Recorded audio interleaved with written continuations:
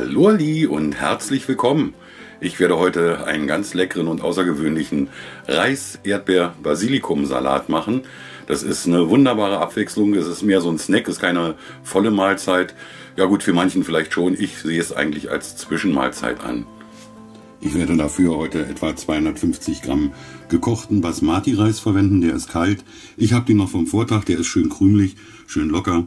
Der ist ohne Salz gekocht, darum kann ich den heute gut verwenden. Wenn man jetzt keinen hat, kocht man sich halt frischen Basmati-Reis, aber natürlich ohne Salz.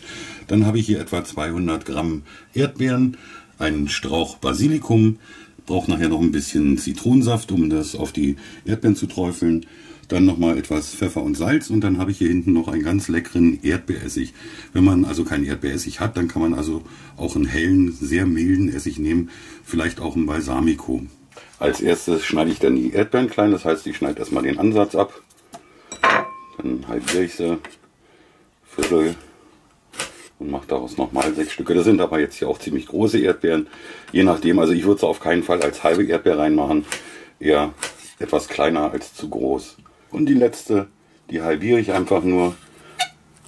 Die kommt nachher so ein bisschen als Deko noch zum Einsatz. Als nächstes schneide ich mir dann die Zitrone auf.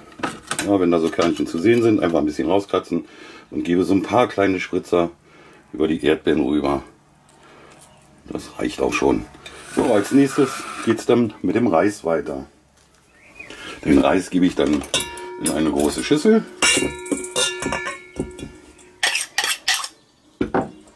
Nochmal so ein bisschen auflockern, falls er ein bisschen verklebt ist.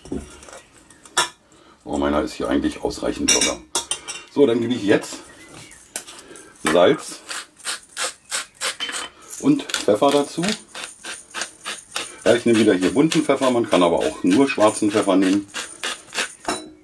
Und dann kommt ein Esslöffel, in meinem Falle jetzt Erdbeeressig, das ist ideal. Oder halt Balsamico oder ein ganz milder, heller Essig. Ja, ich nehme hier einen Esslöffel, verteile ich hier so ein bisschen. Und dann mische ich das Ganze schon mal durch. Und das Ganze lasse ich dann erstmal so 10 Minuten noch ziehen. So, nach 10 Minuten gebe ich dann noch ein paar ganz fein geschnittene Basilikumblättchen damit rein. Das sind so zwei, drei Stück gewesen. Kommt immer darauf an, wie groß die sind. Dann kommt als nächstes, ups, kommen als nächstes die Erdbeeren damit zu und das Ganze dann auch noch mal gut durchmengen. Ja, das ein bisschen vorsichtig machen, dass die Erdbeeren also nicht zu stark gequetscht werden. Und das Ganze lasse ich dann auch noch mal 10 Minuten ziehen. So, dann kann jetzt angerichtet werden. Ich mache dann immer hier in so kleine Schälchen so ein gutes Portionchen rein. Das ruhig noch mal ein bisschen auflockern.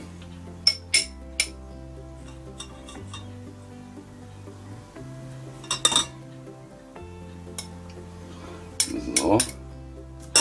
Das ist eine Portion. Dann noch ein klein bisschen Deko dazu. Ich gebe dann immer hier so eine halbe Erdbeere noch bei.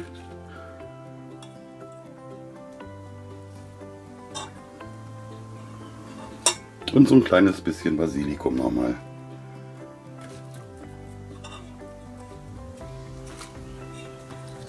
So, ne, hoppala. So werde ich das jetzt auf den Tisch bringen. Ich habe hier zum einen noch mal ein bisschen Fleur de Sel und noch ein wenig vom Erdbeeressig, wenn man sich das noch so ein bisschen nachwürzen will. Ist wirklich mal eine ganz andere Sache von Salat. Schön leicht und locker und für den kleinen Hunger genau das Richtige. Ich wünsche jedenfalls viel Spaß beim eventuellen Nachmachen, einen guten Appetit und bis bald. Tschüss!